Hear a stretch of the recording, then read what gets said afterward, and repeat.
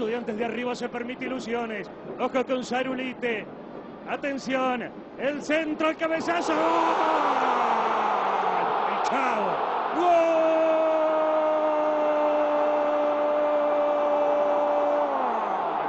¡Gol!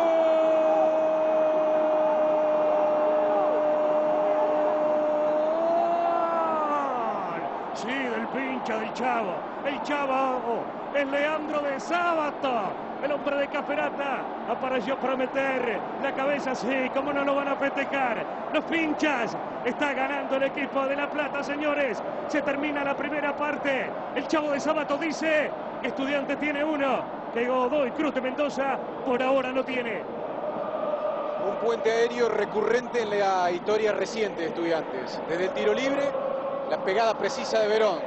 En el otro sector, el siempre atento de Sábato para cabecear, para ganar. En este caso lo perdieron increíblemente en la marca.